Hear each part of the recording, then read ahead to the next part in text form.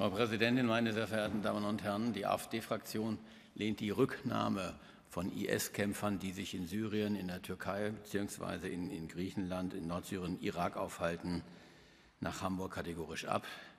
Erstens hat Hamburg hier überhaupt keine Zuständigkeit. Zweitens sind wir dafür, dass eine Aburteilung vor Ort stattzufinden hat. Und ähm, drittens sehen wir nicht, dass diejenigen, die tatsächlich strafbar sich gemacht haben, hier in Hamburg direkt in Untersuchungshaft gehen können. Diese Personen, um die es hier geht, sind ja nicht nur radikalisiert, sie sind ein unkalkulierbares Sicherheitsrisiko, sie sind tickende Zeitbomben. Und da IS-Rückkehrer in der Regel stets schwerwiegende Straftaten im Ausland begangen haben, können schwere staatsgefährdende Straftaten hier in Deutschland nicht ausgeschlossen werden. Und ich habe hier häufiger gehört, ja, man sollte diese Leute überwachen. Wir können ja nicht mal die vielen hundert oder tausend Gefährder, die sich in Deutschland aufhalten, angemessen bewachen. Dazu fehlen uns ja die personellen Ressourcen und auch die rechtlichen Ressourcen.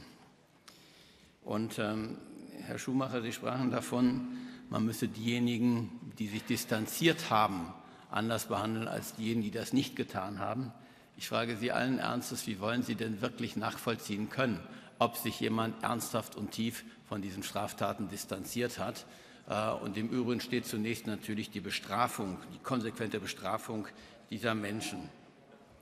Es ist im Übrigen nicht auszuschließen, dass ähm, IS-Rückkehrer der salafistischen Szene in Deutschland neue Impulse und zur weiteren Radikalisierung beitragen. Die Mitgliedschaft beim IS ist ein schwerwiegendes Verbrechen.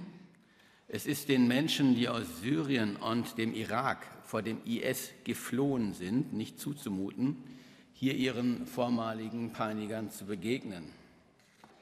Es besteht, von den Behauptungen der Betroffenen abgesehen, auch kein Grund zu der Annahme, dass IS-Rückkehrer in Deutschland in ein ziviles Leben zurückkehren wollen.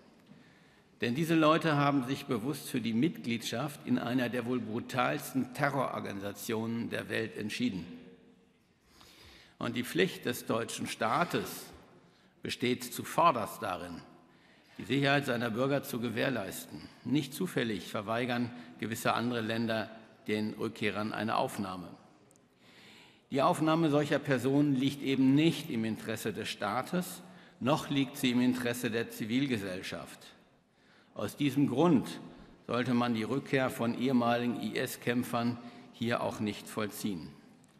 Dort, wo eine Einreise aus Rechtsgründen tatsächlich unvermeidlich ist, müssen die Betroffenen ad hoc in Untersuchungshaft kommen, angeklagt und verurteilt werden. Eine Integration in die Zivilgesellschaft spielt in dieser Phase überhaupt keine Rolle. Im Fall von IS-Rückkehrern muss dasselbe gelten wie bei, wie bei Deutschen, die im Ausland rechtsextremistische Straftaten begangen haben.